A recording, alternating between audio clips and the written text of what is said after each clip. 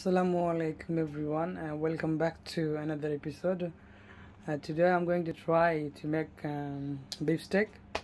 So আমি একটা muscle হিলের একটা চাঙ্ক নিয়েছি এটার সাথে এখন মিক্স করে দিব soya sauce oyster sauce and cooking oil তার আগে এই বিফ চাঙ্কটাকে আমি খুব ভালোভাবে ন্যাপকিন বা টিস্যু দিয়ে ভালো মতো এটাকে আমি ড্রাই করে নিব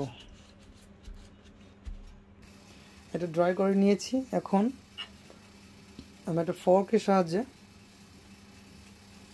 এটাকে কিছু হোল করে দিব। আর ইনগ্রিডিয়েন্টসগুলো এর সাথে মিশিয়ে দিব আমি। প্রথমে আমি এটাকে হোল করে নিচ্ছি আগে, একটা ফক দিয়ে। আমি এটাকে খুব ভালোভাবে ফক দিয়ে হোল করে নিয়েছি।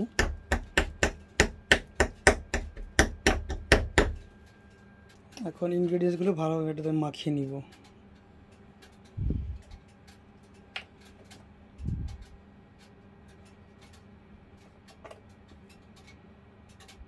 আমি কোনো সল্ট দিব না cause oyster sauce and soya সসে enough salt আছে, লাগলে পর নিয়ে নিব। এখন দিয়ে দিচ্ছি ব্ল্যাক পেপার গ্রাইন্ডেড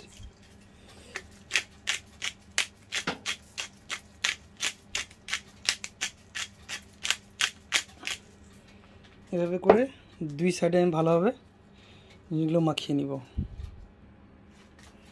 এটা খুব ভালোভাবে দুই সাইড মাখানো হয়ে গিয়েছে।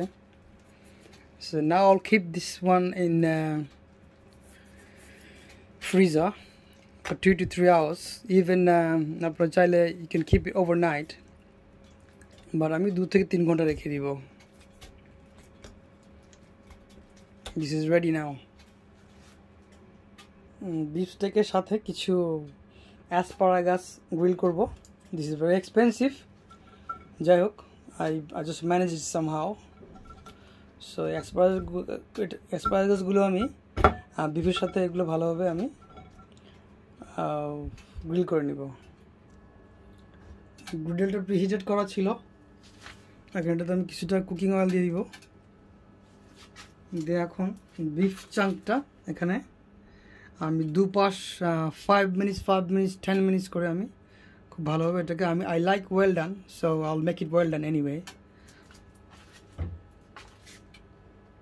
এখন বিফটা দিয়ে দিচ্ছি। তিন ঘণ্টা পর ফ্রিজ থেকে নামিয়ে নিয়েছি আমি।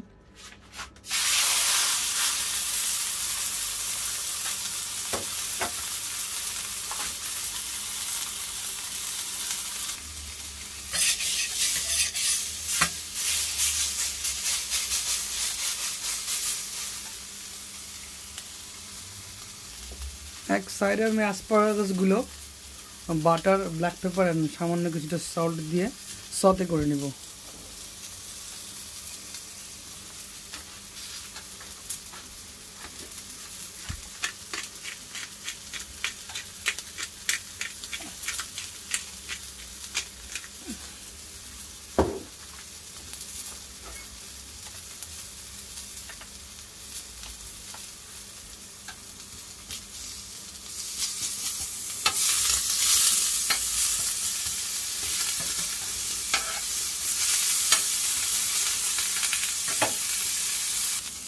এখন আমি স্টেকের অন্য পাশটা উল্টিয়ে নিব।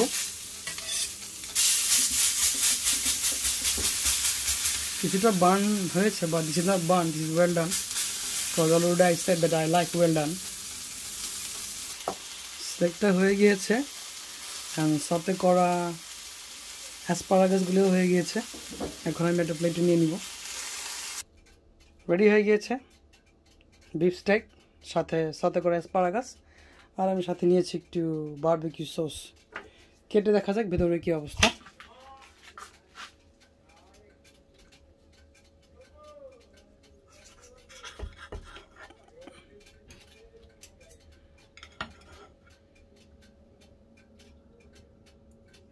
দেখুন ভেতরের অবস্থা। প্রপারলি হয়ে গিয়েছে। ভেরি লাইটলি একটু কালার আছে but is not red or pink আর আমি বারবার কি দিয়ে ট্রাই করে দেখি কতটুকু টেস্টি হয়েছে।